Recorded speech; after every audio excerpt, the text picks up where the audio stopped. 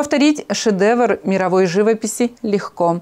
В модельной библиотеке провели мастер-класс в рамках проекта «Краски мира». Очередное занятие посвятили творчеству нидерландского художника Винсента Ван Гога. Мы писали его любимые подсолнухи. Всего у него было их 11 э, прекрасных полотен, которые мы сегодня пытались с нашими участниками э, повторить.